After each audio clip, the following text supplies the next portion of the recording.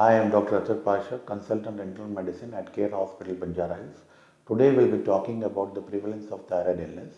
As you all know, India is a developing nation and we are in a transition phase from thyroid deficiency to thyroid sufficient phase. So it is estimated that as per the current latest uh, article published in the Lancet Journal, 25 million people are affected in India with thyroid disorder and it affects all the age groups and from newborn to elderly. Uh, the prevalence being more in middle age group. It's commonly seen in females than male gender wise.